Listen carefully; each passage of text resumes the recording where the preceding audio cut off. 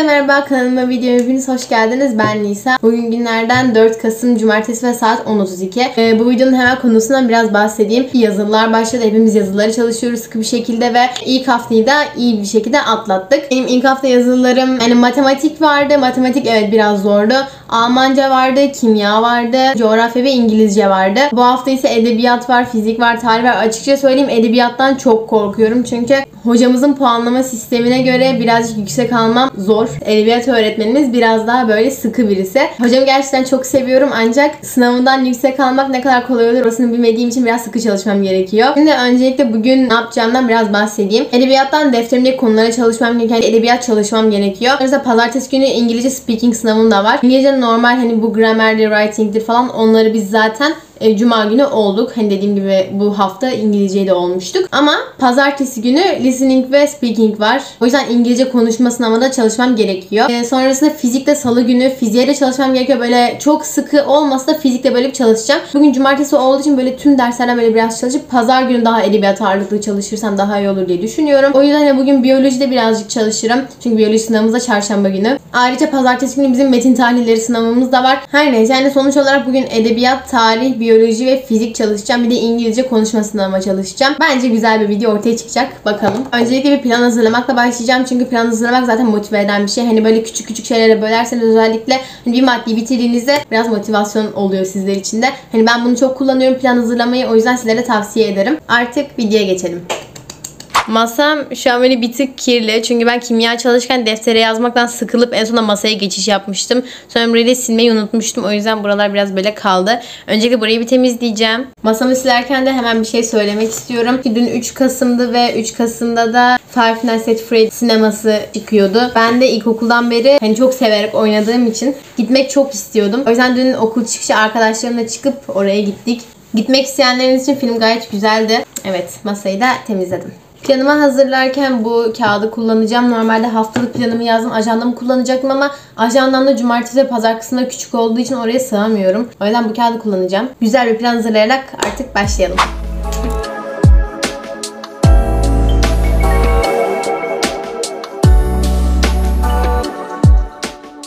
Ben şimdi planımı hazırladım. Hemen böyle kısaca bir okuyacağım. Öncelikle edebiyattan konu çalışacağım ve edebiyat için Öğretmenimiz bize EBA'dan testler göndermişti. Onları çözmem gerekiyor. Tabii hepsini bitiremeyebilirim çünkü 19 tane test olduğunu söylemiş yanılmıyorsam. O yüzden birazını çözerim. Bir kısmını çözmeyi planlıyorum. Fizikten konu dinleyip öze çıkaracağım ve fizikten test çözeceğim. Ardından tarihten öze çıkabilen konu dinleyeceğim. Biyolojiden de konu çalışacağım ve İngilizcenin speaking sınavını çalışacağım. Ardından da son madde olarak kitap okuma kısmım var. Onu da yine yaparım. Yani vaktim kalırsa artık. Ben öncelikle edebiyatla başlamak istiyorum. Edebiyat defterim de burada. Biz defteri okula çok fazla kullanıyoruz. Hani bayağı yazı yazdık zaten şu ana kadar da. Öncelikle defteri birazcık çalışacağım. Bayağı bir defteri çalışacağım birazcık dediğimde. Ardından da hemen soruları çözelim ki EBA'dan böyle üstüne hemen bir konuyu pekiştirmek olur ve edebiyatı o şekilde bitiririm. Şimdi edebiyattan konu çalışmaya başlayacağım. Biraz uzun sürme ihtimali de var çünkü bayağı çalışmam gerekiyor.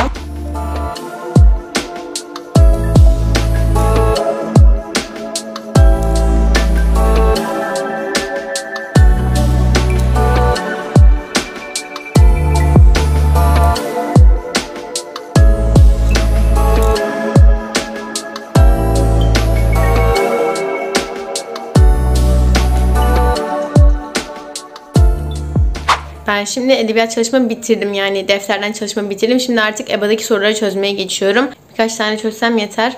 Bu arada masada çalışmaktan biraz sıkıldığım için yatağıma geldim. Hem zaten kabloyu taşımama da gerek kalmıyor böyle.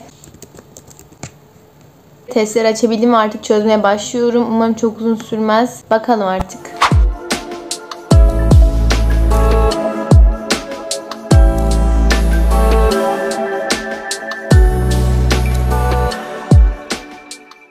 Şimdi edebiyat testlerinin bir kısmını çözdüm. E, o yüzden artık hem EBA ödevini hem de konu çalışma kısmını buradan çizeceğim. Yani iki maddemiz artık bitmiş olacak.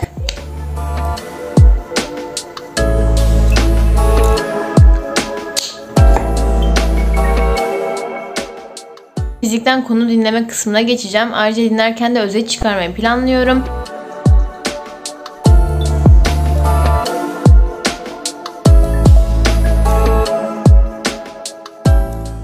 Ben şimdi konuyu dinleyip bitirdim ve saat de bayağı ilerledi. Şu anda 3.50. 4 olacak neredeyse. Biraz da oyalandım aslında. Konuyu dinledim ama özet çıkarmadım çünkü zaten deftere yazmam gereken yazılar olduğunu hatırladığım için zaten o yazıları yazarken de çalışmış olacağım için yazmamaya karar verdim. Şu anda test çözmek istiyorum sadece. Fizik test çözerken de hızlı yayınlarına bu kitabını kullanacağım. Hızlı yayınlarını ben bu zamana kadar severek kullanıyordum ve videolarında da görüyordunuz zaten. Bu sene de yine kullanmak istediğim için aldım tabii ki de. Matematiğini de aldım yanında diğer derse de almayı düşünüyorum. Hemen böyle kısaca kitaplardan bahsedeyim çünkü ben sizin de seveceğinizi düşünüyorum ve bayağı işinize yarayacaktır.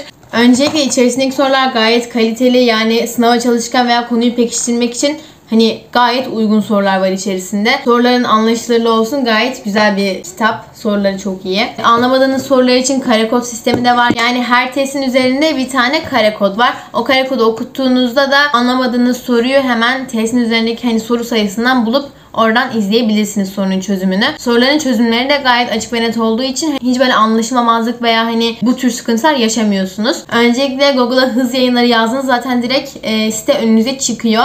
Sitede de şu anda %10 indirim var her kitapta ve 100 TL üzerinde kargo bedava oluyor. Bu bence gayet iyi bir kampanya. Hiç kaçırmayın derim ben. Açıklamaya koyduğum linkten siteye ve bu kitaplara ulaşabilirsiniz. Ve ayrıca 8. sınıflar için göstermek istediğim iki tane kitap daha var. Öncelikle Hız Yayınları'nın Türkçe kazanım odaklı konu işleme defterinden bahsetmek istiyorum. Bu defterin içerisinde öncelikle test soruları da var, konu anlatımı da var, etkinlikler de var. Yani içerisinde bolca şey olan bir kitap, bir defter. 8. sınıftan almasını kesinlikle tavsiye ediyorum. Site için soru çözümleri de var. Yine gördüğünüz gibi yukarıda bir tane kare kod var. Bunu okuttuğunuzda da sorunun çözümünü görebiliyorsunuz. Sorular yine gayet kaliteli böyle resimli, bolca yazılı, metinli güzel sorular. Bu defter bu şekilde.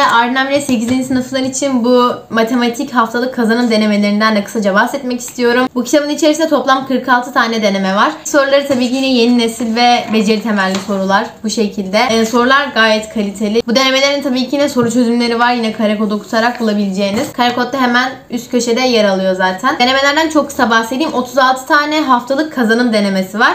4 tane tatil denemelerinden var. Hani şu ara tatil, yarı yıl tatil falan o denemelerden var.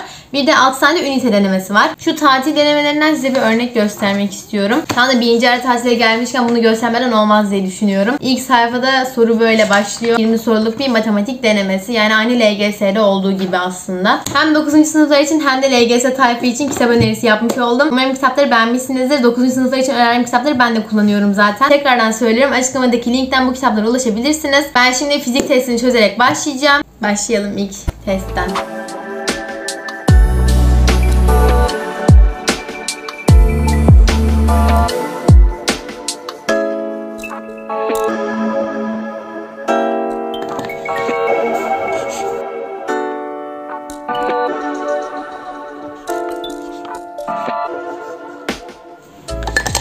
Fizik testimi çözdüm, bitirdim. Yanlışlarımın çözümünü izledim. Evet, şimdi benim planımda özet çıkarmak da vardı ama ben özet daha hani defterime yazarı yazmadığım için Sadece konu dinleme kısmını ve test çözme kısmını işaretleyeceğim. Ve çok acıktım. O yüzden bir yemek yiyeceğim sonrasında. Şimdi bunları işaretliyorum.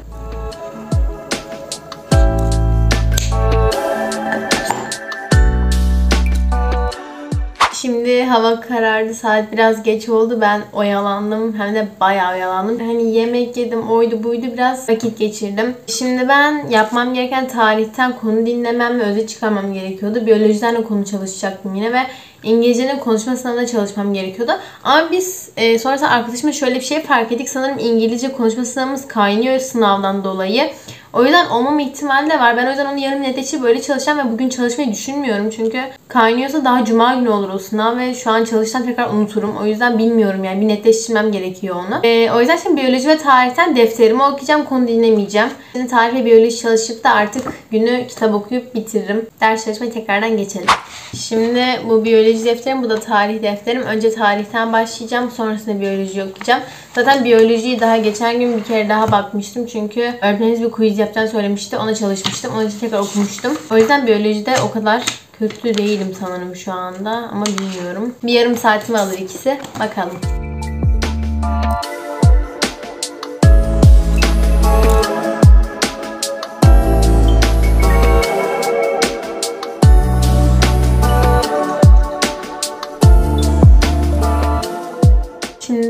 bitirdim biyoloji ve tarih çalışmayı. Terden konu çalışma kısmını ve biyolojiden de konu çalışma kısmını işaretleyeceğim. Ve kitap okuyup da yatmayı planlıyorum. Yarın pazar ve yarın erken kalkıp düzgün bir şekilde çalışmam gerekiyor. Belki vlog çekerim bilmiyorum ama yarın yoğun bir şekilde çalışmam gerekiyor.